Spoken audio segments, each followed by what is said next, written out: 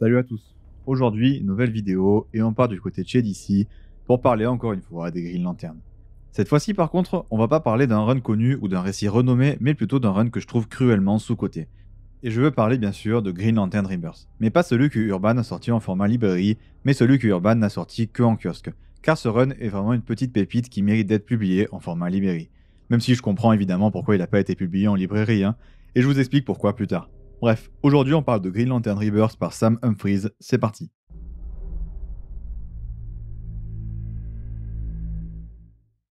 Les nouvelles recrues des Green Lantern, deux terriens, viennent d'être recrutés dans le corps des Green Lantern. La première mission consiste à repousser l'assaut d'Atrocitus et du corps des Red Lantern, dont l'influence se répand sur tout le continent américain.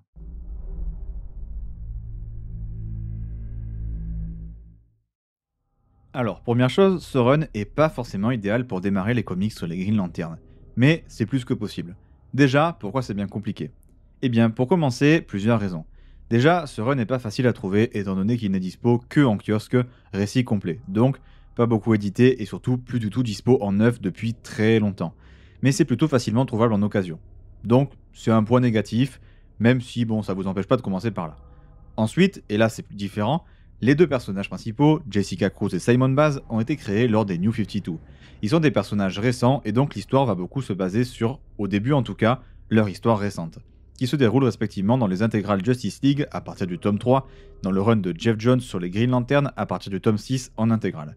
Mais ça peut quand même largement se jouer parce que Urban fait au début du premier tome en kiosque un gros édito sur ces histoires-là, et du coup, les tomes à prendre dans ces fameux récits complets sont respectivement les tomes 2, 4, 6, 8, 11 et 13, des récits complets Justice League Rebirth, qui vous donnent donc le run complet de Sam Humphries. Niveau prix, c'est évidemment variable vu que c'est dispo que en occasion. Ensuite, les bases posées par Jeff Jones lors des New 52 sur les deux personnages sont absolument excellentes et donc sont un énorme vivier d'idées et surtout de possibilités pour les différentes histoires dans le futur des personnages.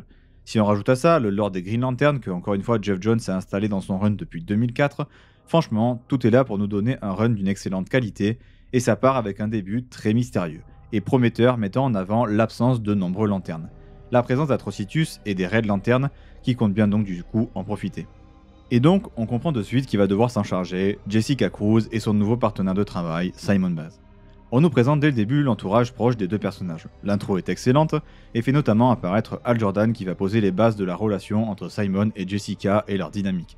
Et c'est là l'un des thèmes centraux du début du run, la coopération, et plus précisément celle des Green Lantern, qui est encore plus au centre du récit que d'habitude, car Jessica et Simon vont devoir pleinement coopérer et agir en tant que duo en continu, l'un compensant les faiblesses de l'autre et faisant donc d'eux de meilleurs Green Lantern.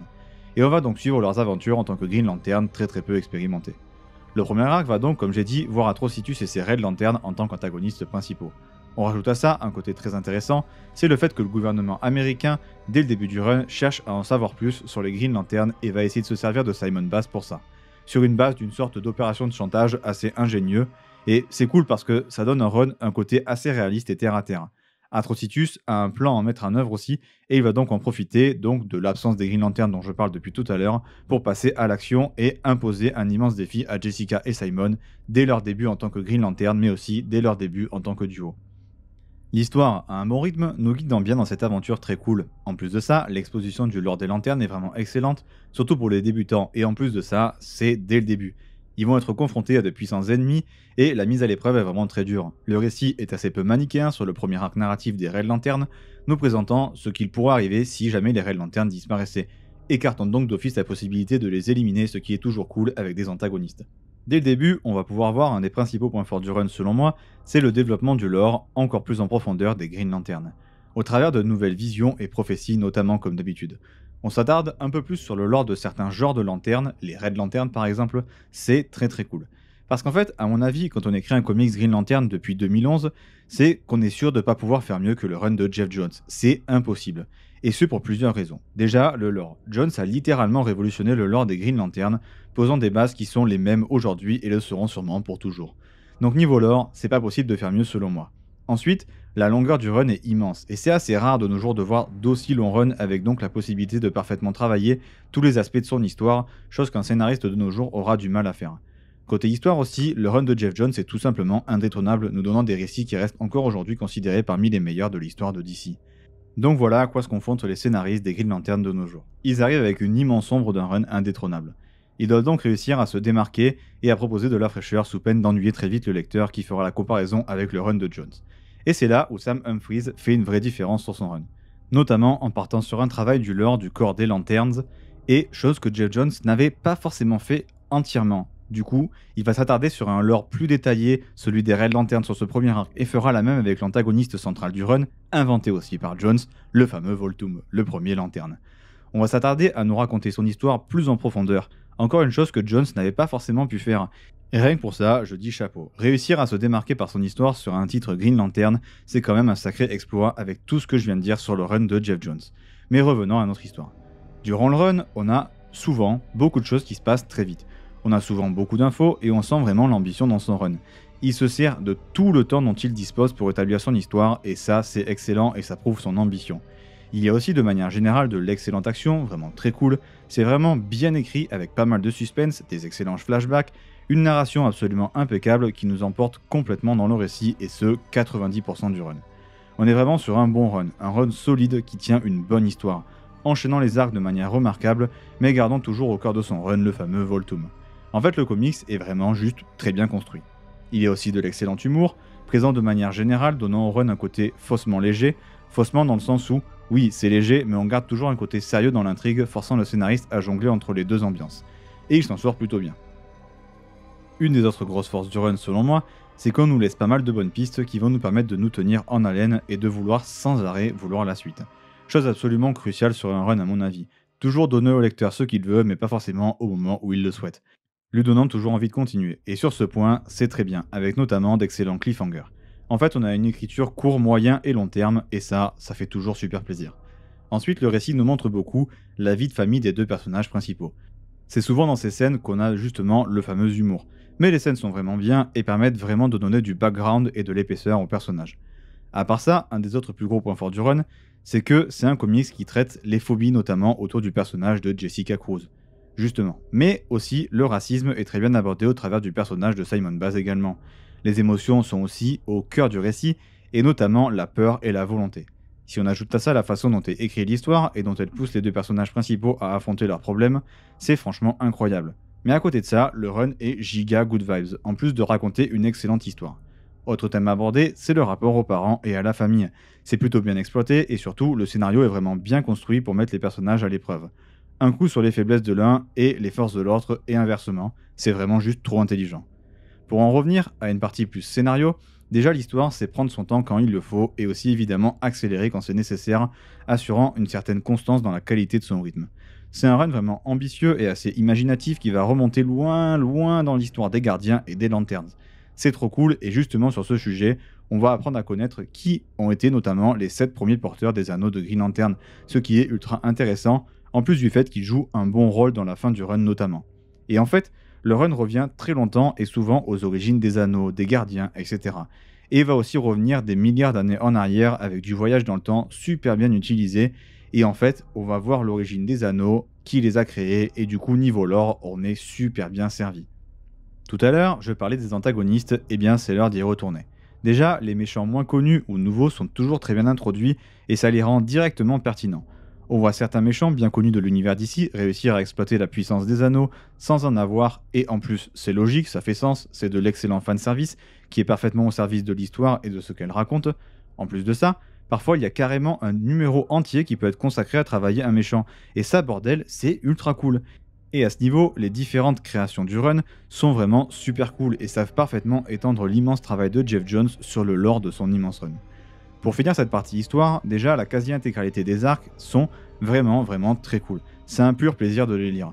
Aussi, on relie quand même le run au run de base de Green Lantern Rebirth de très bonne manière, donnant un ensemble cohérent mais qui laisse de l'espace à chacune des histoires des deux runs et ça c'est bien. Aussi, on explore bien tout ce qui fait un Green Lantern, particulièrement sur l'utilisation des anneaux. Niveau pure construction de récit, il y a des bêtes de retournement de situation qui apportent vraiment beaucoup au lore et en plus le run permet et s'accorde du coup le loisir de remettre des choses absolument indissociables des Green Lantern en cause. Ce qui permet une vraie remise en question et surtout ça rend le tout de manière globale plus nuancé et c'est ultra intéressant. Bon au final je dirais que le run a un défaut majeur mais il est vraiment énorme, qui joue sûrement sur le fait qu'il soit pas forcément réputé ou pas publié par Urban en format librairie. C'est qu'en fait, il ne se finit pas. Le scénariste, Sam Humphries, part en plein milieu de son run laissant ses intrigues en suspens. Alors je sais pas si après le numéro 39 de Tim Seeley, ces intrigues-là continuent, mais les trois premiers arcs n'en parlent pas, donc je doute fort qu'il ait pris la suite de l'histoire installée par Sam Humphries. Je pense que le scénariste qui a pris la suite a préféré faire son propre travail. N'hésitez pas d'ailleurs à me corriger si je me trompe, parce que j'ai l'impression, en regardant en VO, que ça n'a pas continué. Et c'est vraiment très très dommage vu le potentiel du run sur la durée et sa qualité d'écriture. On sent vraiment que le run a encore beaucoup sous le pied et que l'arc de Voltum est loin d'être terminé. Quel gâchis, honnêtement.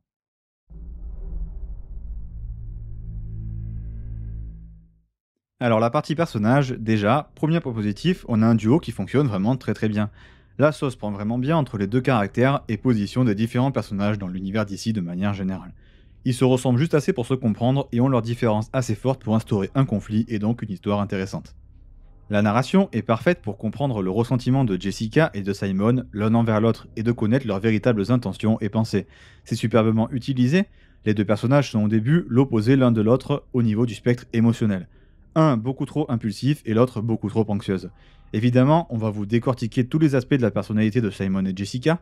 au début, la seule chose qui les rassemble au final, c'est qu'ils sont tous les deux des Green Lantern débutants et qu'ils commettent tous les deux un tas d'erreurs. Évidemment, leur relation va évoluer avec le temps et va devenir trop trop cool. Et la complicité qu'ils développent avec le temps est trop cool à voir et elle fait trop plaisir. Plus généralement, les dialogues sont juste trop excellents et trop naturels. Ça fonctionne juste beaucoup trop bien. C'est un pur plaisir de lecture. Également, on a un petit développement sympa des lanternes plus connus comme Guy Garner, Kyle Rayner, John Stewart ou Kilowog. Niveau antagoniste, évidemment, certains méchants repris du run de Jeff Jones sont encore plus exploités, et ça encore plus en profondeur, avec une vraie volonté de nous les faire comprendre niveau motivation. Déjà, Atrocitus. Il est vraiment bien écrit et a une sorte de syndrome du Messie super intéressant. Il est super bien développé et c'est un excellent antagoniste et on nous le présente plus nuancé que d'habitude et c'est cool.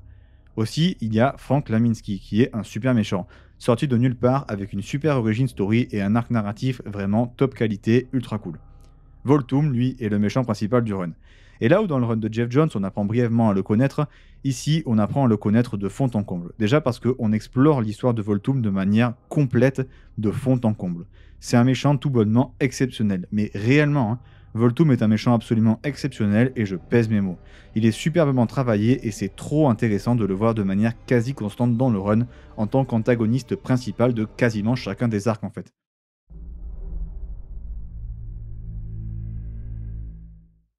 Bon, autant commencer par là, Jessica Cruz est ma Green Lantern préférée, tout Green Lantern confondu. Voilà. Pour tout un tas de raisons, mais surtout des raisons qui sont bien exposées durant ce run. Déjà la base du personnage est pour moi une mine d'or car à la suite d'un traumatisme, elle s'est complètement renfermée sur elle-même, mais surtout, elle s'est renfermée tout court, ne sortant plus de chez elle. Elle fut forcée à sortir une fois que l'anneau de Voltum prit possession d'elle. C'est donc un personnage qui a connu un bas moralement qui est tellement bas qu'on suit chacun de ses pas vers sa reconstruction avec une empathie colossale.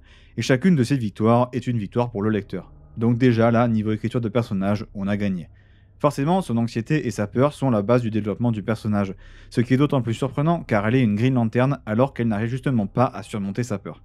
De manière continue, la narration dans sa tête est vraiment beaucoup trop cool. On dirait une vraie personne. Les dialogues sont super réussis, j'ai vraiment trop d'empathie pour elle. Évidemment, elle se cache derrière des supposées vérités qu'elle n'a pas envie de vérifier car elle reste dans son déni pour éviter ses peurs. Et j'ai de le dire, mais alors que c'est son trait principal, au final, elle est agoraphobe. La définition de l'agoraphobie, c'est que c'est la phobie des espaces libres et des lieux publics. Et cette phobie, en fait, elle l'a développée due à sa survie aux dépens de ses amis lors d'une agression. Et justement, ça a entraîné son enfermement, etc. Le perso fonctionne beaucoup trop bien et il est vraiment unique. La façon dont est décrit ce dont souffre Jessica est parfaite, avec par exemple une sorte de voix dans sa tête qui prend le dessus sur ce qu'elle pense, voix qui bien sûr vient de sa peur. La façon dont est décrit sa phobie est tout bonnement parfaite, c'est d'une justesse très forte et c'est ultra touchant.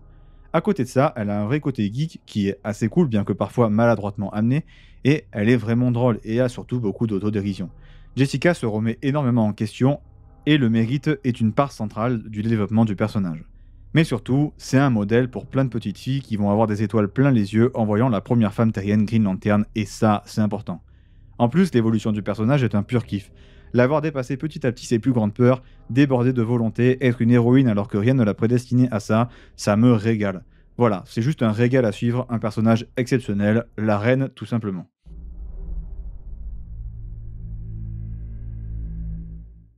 Après mon éloge sur Jessica, c'est au tour de Simon Bass qui lui aussi est un très bon personnage. Complètement opposé à Jessica.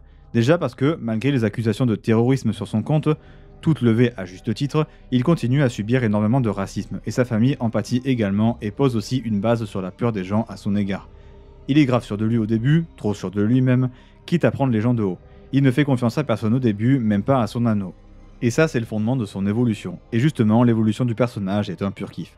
À côté de ça, il est très impulsif, et on sent que l'anneau lui confère une énorme confiance en lui, et il se sent en gros invincible. En plus de ça, Simon semble posséder un grand pouvoir qu'on apprend au début du run, et qui du coup va être développé tout le long. Dernière chose assez importante, la mère de Simon Baz est son idole, son modèle. C'est compliqué pour lui de la juger normalement. Je vous renvoie donc au moment où je parlais des parents des deux héros dans la partie histoire, mais du coup tout fait sens et tout semble être une espèce de boucle, c'est hyper cool.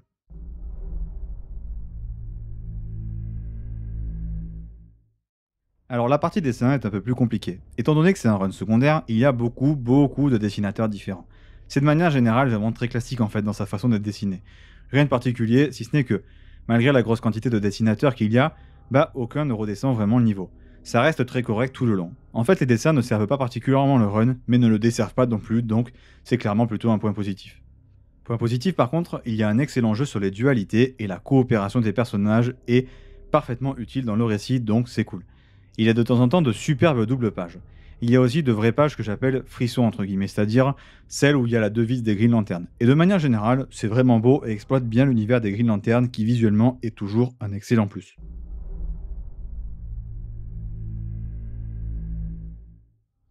Bon, bah là ça commence à être compliqué de vous conseiller des comics Green Lantern, dont j'ai pas déjà parlé sur la chaîne. Mais j'ai encore quelques récits, notamment le fameux Green Lantern Corps de Patrick Gleason, Run qui se déroule en parallèle du fameux run de Jeff Jones et qui le complète parfaitement malgré son niveau assez hétérogène, en tout cas au début. Il suit parfaitement les différents events et nous parle d'autres membres du Green Lantern Corps que Al Jordan. Voilà, c'est tout pour cette vidéo, j'espère qu'elle vous aura plu et qu'elle vous aura donné envie de lire le comics. N'hésitez pas à liker la vidéo si c'est le cas, à vous abonner pour m'aider à faire grandir la chaîne. Je vous conseille également de me suivre sur TikTok où je poste très régulièrement des vidéos courtes où je vous conseille des comics à lire. Je suis aussi très actif sur Twitter, donc suivez-moi si jamais ça vous intéresse aussi. Je parle de temps en temps de mes lectures ou des sorties comics. Sur ce, c'était Day One, et à dimanche prochain, 17h30 pour une prochaine vidéo.